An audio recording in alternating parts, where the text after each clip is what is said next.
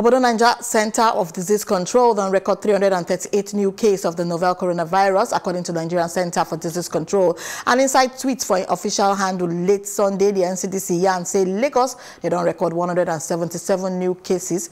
Kano post 64 cases. And other regions uh, with new cases, like FCT with 21, Rivers 16, Plateau 14.